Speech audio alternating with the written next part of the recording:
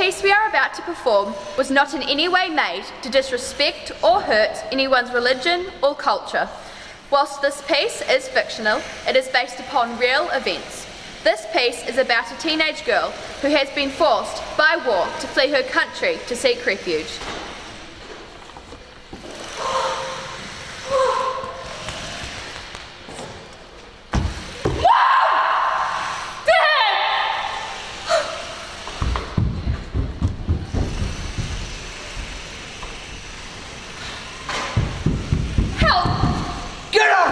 Country! Help! Muslim man!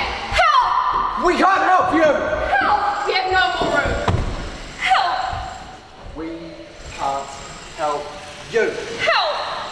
We haven't got the resources. Help! Find your own help. Help! Shut up! We can't help you. Help! Help! Help! Could you say that louder? Could you make that emotion a little more real? I can see the headlines. Refugee crisis. Every day here, it's death, destruction, distress. I've lost everything. My home, my hope, my family, my friends, mom, dad, everything. But why is everyone quiet? Why are you all silent? Wake up! Help me! Silence. Silence. Silence.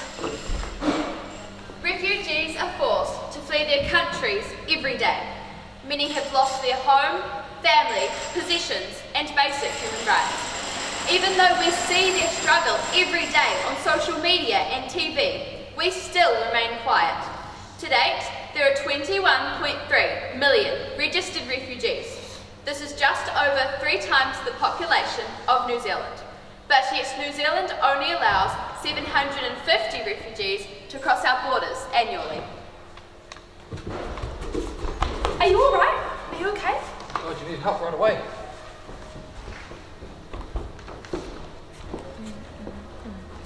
I stand with refugees. Do you?